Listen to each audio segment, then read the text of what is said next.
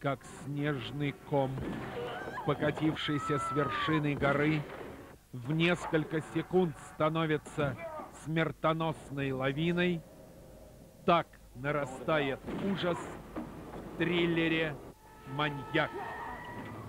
Компания West Video представляет Тобин Белл в роли садиста-убийцы в психопатологическом триллере «Маньяк». Компания Video представляет «Маньяк».